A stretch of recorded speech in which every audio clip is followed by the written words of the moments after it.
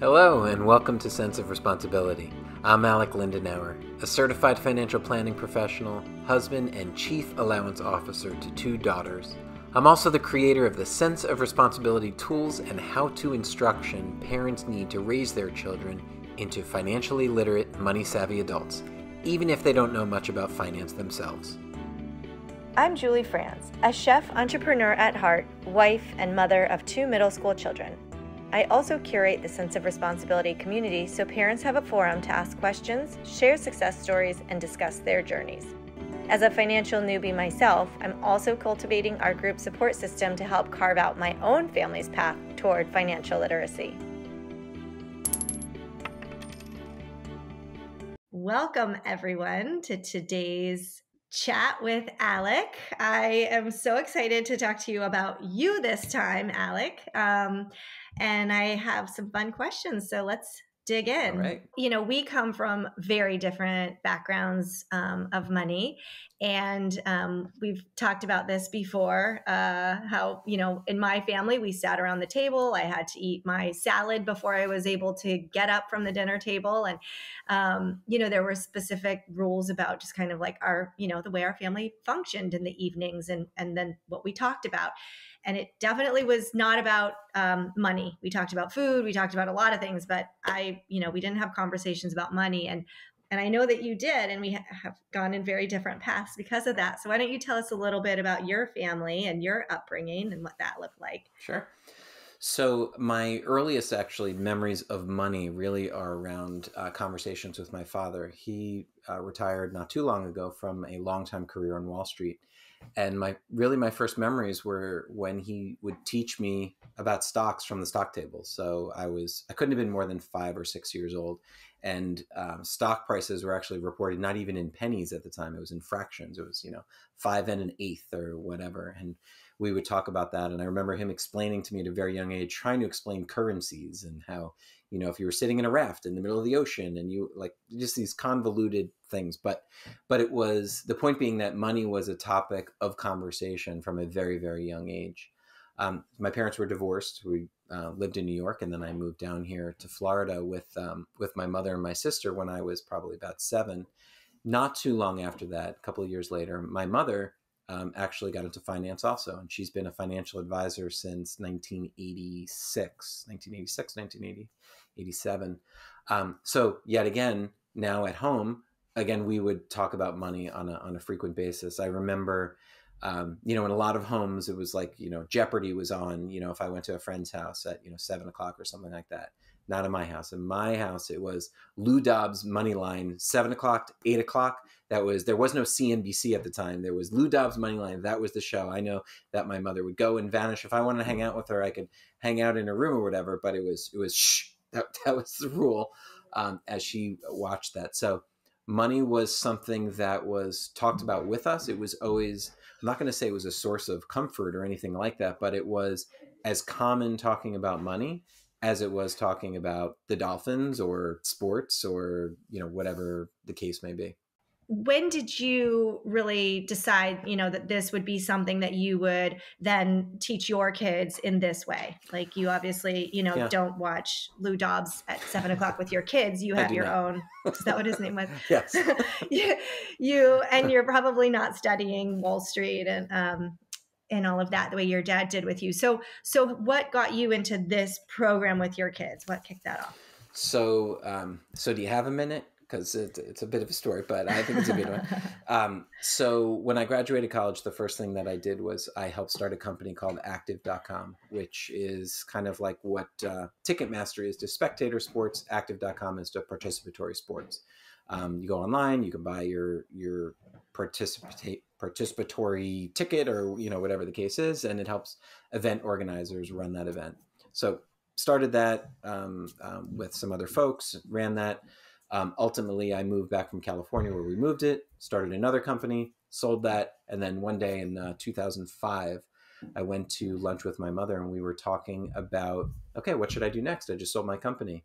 And she was talking about this transition that her industry was going through where people were investment managers as opposed to more of financial planners, financial advisors. And there was going to be this transition. And so we started talking about the things that she would need to do. And we both kind of looked at each other and we're like, we should work together. And so we did. Right after that lunch, we just decided, you know what, let's let's work together. So we've been partners as financial advisors since 2005. So that's my day job. And um, along the journey that I've had as a certified financial planner practitioner, is that it's staggering, absolutely staggering how many people I meet in a given week or in a given month who really, um, two things. One, don't really understand much about finance. And then, second to that, is practice what I would call good financial hygiene, right?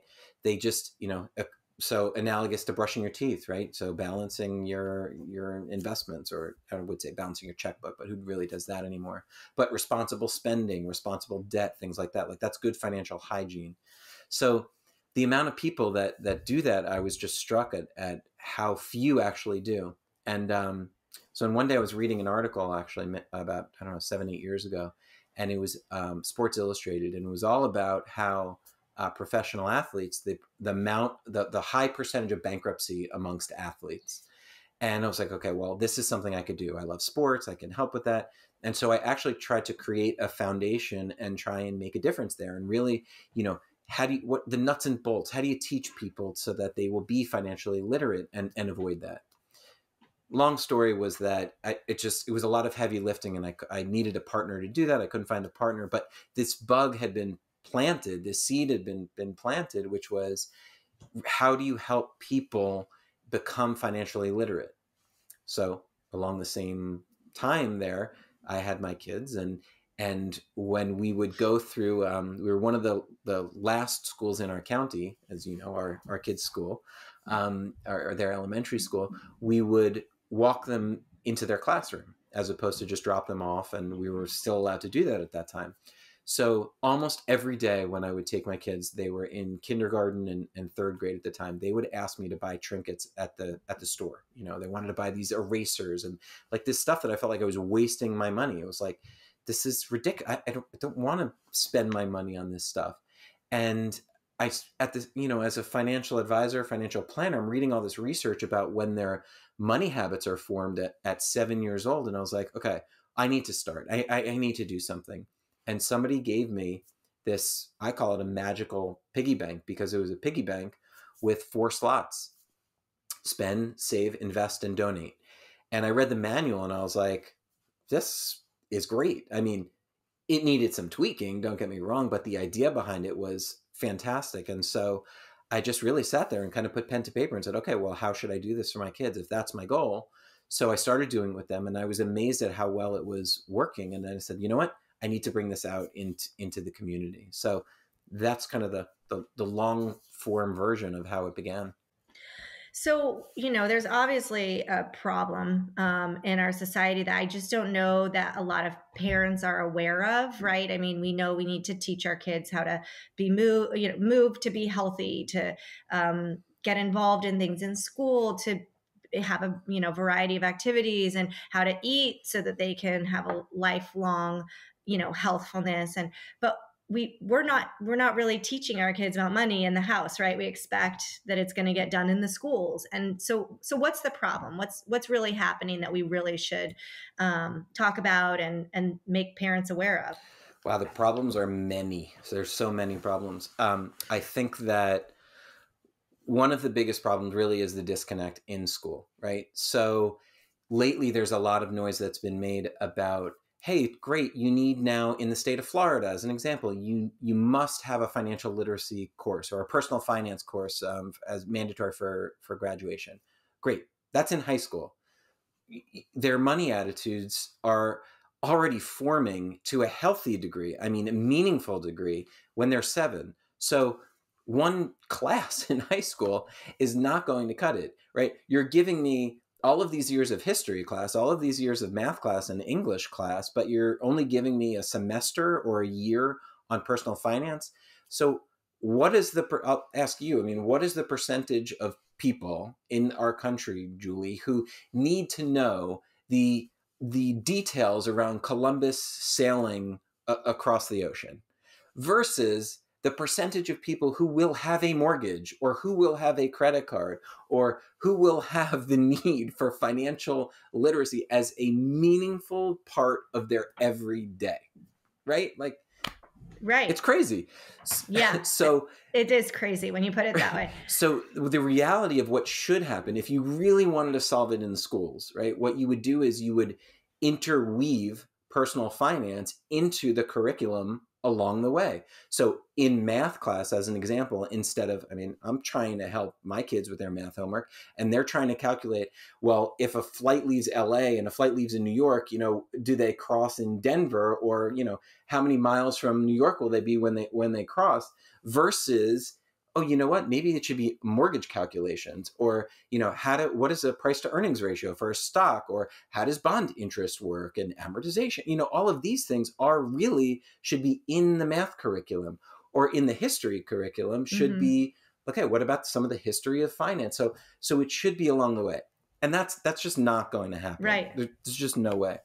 Well, I do have to tell you, though, um, to interject, John just told me about a project they're working on in his math class right now. And I was shocked because it is so um, it is so along these lines of what we're talking about should be taught in schools. So, you know, it's towards the end of the year. They're not really getting into like new chapters and tests and stuff. So, uh, what they're working on is that the kids took a test um, to see kind of like what their natural um, innate abilities would lead to in terms of a career path. So, John's was like lawyer, firefighter, and some kind of public service servant or something. So he chose firefighter. So then you look at what is the mean um, salary of an entry level firefighter. no, I think the average salary of a firefighter in this area, in the city where we live. Um, and then they taught them, like, you know, if you're going to look for a place to live, it should really only be 30% of your salary. And then we're going to look at utility bills. We're going to look at what things cost here. And so their current project is doing all of that math around, you know, what what you make and how to spend it. And I was I was blown away that this school is doing this, you know, end of year project. Uh, but that's like you said, it should be every year that they're, exactly. you know, that they're weaving these kinds of projects in exactly. with this learning. That is amazing. So, so amazing that it shouldn't be the end of year seventh grade throwaway project. No, exactly. It's, crazy. Exactly. like we have nothing right. else to do, right. so let's do this thing. Right. Yeah. How much time did he spend uh, on He also surface cannot area? believe Right. He also cannot believe that a fireman does not make more money because his job is very, very important. And why, you know, do certain people make way more money doing less important work right. for the community? So right. that's also been a little bit of an eye opening right. experience for him too. So, so going um, back, so, but yeah, so I mean, schools, I agree. It's a big problem. Right. So, so that's one side of like, where should they get it from? Right. So if they're not getting it there, so where can they get it from? So I believe wholeheartedly that the best person mm. to teach their, a child about finance is a parent or a caregiver. And the reason really is the reasons are very simple. One is because the keys are practice and consistency strategy. Those are the keys. It is not, the key is not how knowledgeable is that person because you don't need them to be a money genius by any stretch when I taught my kids how to ride a bike, I mean, I'm no Lance Armstrong. I just I know how to ride a bike. You know, just like most parents, they know how to.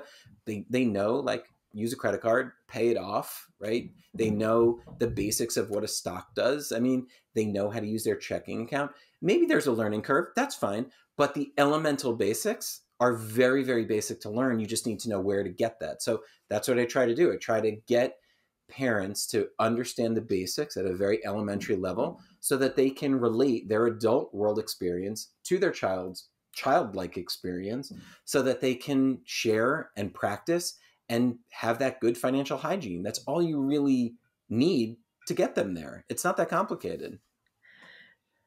Right. And we've um, you know, we've talked a lot about the practice element and how important it is, you know, to start your kids early with a small amount of money so that they can practice. They might make a few mistakes. They might um, you know, learn along the way of what was worth it or not worth it. But Um, but really, by like that consistent handling of money, they're going to learn how to spend their money in their own way. Like, you don't have to tell them, you know, don't waste your money on this and that. They'll come to that conclusion when at the end of the week or the end of the month, they don't have any money left and what they purchased is stupid and it's broken and it's trash. And, you know, they're going to realize, like, oh i only have this amount of money i don't want to use it on that and i think you experienced that with the with the student store tchotchkes and the starbucks and i've experienced that with my kids too of like they they just make better decisions not because i told them exactly. to but they had money to spend and they saw you know cassidy's like i would rather spend $50 on a skirt i love than like